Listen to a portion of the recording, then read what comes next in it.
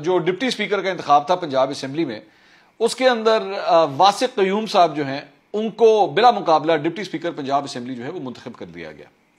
अच्छा इसमें इंटरेस्टिंग बात यह है कि बिला मुकाबला, बिला असल मेरे खबर यह है कि बिला मुकाबला।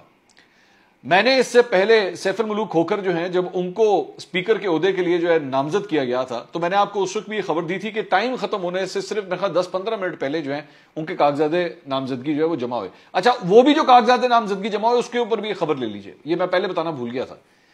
वो जो कागजात नामजदगी जमा हुए ना तो उसके ऊपर वो जो साइन करने वाले साहब थे, उन्होंने साइन ही गलत कर दिया।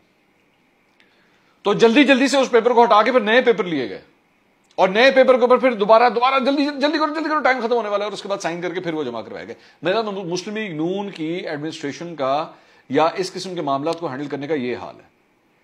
आज ये जो डिप्टी स्पीकर के लिए इंतखाब था, ना पाकिस्तान पीपल्स पार्टी, ना नून लीग। ये अपने पेपर्स ही जमा नहीं करवा सके।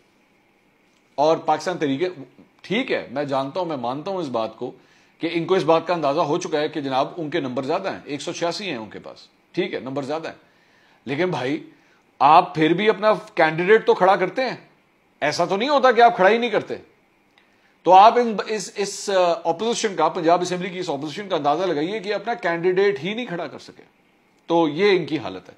तो वो, मैंने जो आज आज से दो दिन, तीन दिन पहले वो जो मैंने एक वीलॉग किया था ना, जिसमें मैंने कहा था कि शेर नहीं, बिल्ली। बिल्ली का निशान लीजिएगा। तो आपकी जब हरकतें इस किस्म की हो ना तो बिल्ली मिलनी चाहिए।